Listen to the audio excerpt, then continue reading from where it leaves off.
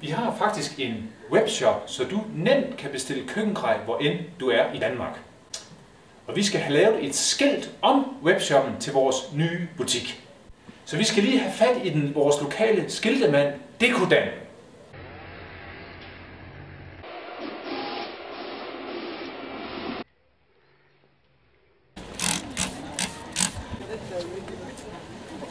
Hvordan kan du øh, multitaske?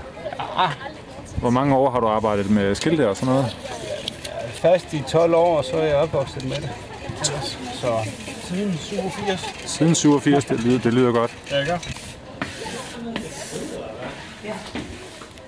you know what it is then?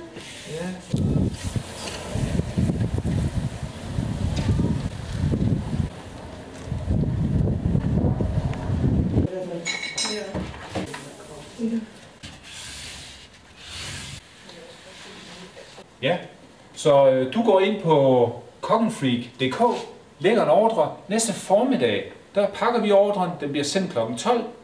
Du har den dagen efter.